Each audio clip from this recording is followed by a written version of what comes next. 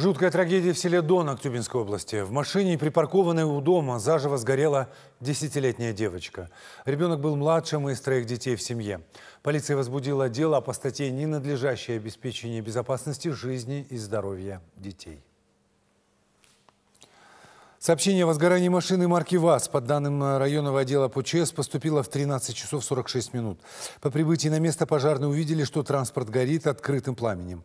После тушения огня в салоне авто было обнаружено тело девочки 2014 года рождения. Известно, что семья благополучная, мама учитель, папа работает на, мест, э, на местном месторождении. Из-за особенностей развития погибшая девочка училась на дому.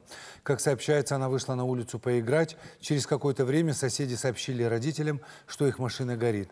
Лишь когда авто потушили, оказалось, что внутри находился ребенок.